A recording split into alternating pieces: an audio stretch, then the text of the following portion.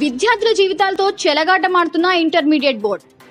విద్యార్థుల జీవితాలతో intermediate board చెలగాటమాడుతోందని PDSU జిల్లా ఉపాధ్యక్షులు జన్నారపు రాజేశ్వర్ అన్నారు. ఈ సందర్భంగా ఆఫ్లైన్ ఆన్లైన్ క్లాసులు జరగకుండానే పరీక్షలు నిర్వహించి విద్యార్థులు ఫెయిల్ కావడానికి ఇంటర్మీడియట్ బోర్డు కారణమని ఈ సందర్భంగా పీడీఎస్యు నగర కమిటీ ఆధ్వర్యంలో జిల్లా ఇంటర్మీడియట్ ఎడ్యుకేషన్ ఆఫీస్ ముందు ధర్నా నిర్వహించి డిఐఈఓ గారికి వినతి పత్రం ఇవ్వడం జరిగింది.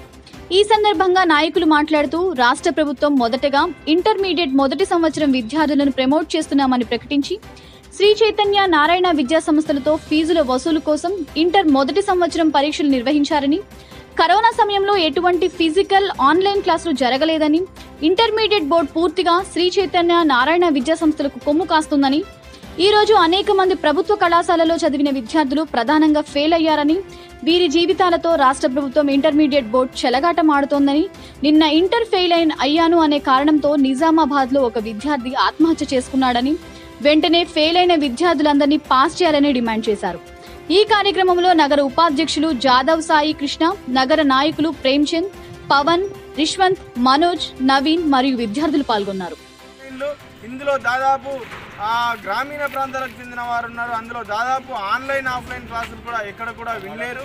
ఈరోజు కేవలం ప్రభుత్వాలు కార్పొరేట్ విద్యా సంస్థలైన శ్రీ చైతన్యనారాయణ కోసం ఈరోజు ఆ ఫీజుల దోపిడీ కోసం ఈ పరీక్షలను నిర్వహించి ఆ, ఈరోజు మధ్యతరగతి విద్యార్థులతో జీవితాలతో చెలగాన మారుతుంది. వెంటనే ఫెయిల్ అయిన విద్యార్థులు వెంటనే పాస్ చేయాలని పీడిఎస్ నార్ కమిటీ తరఫున మేము డిమాండ్ చేస్తున్నాం.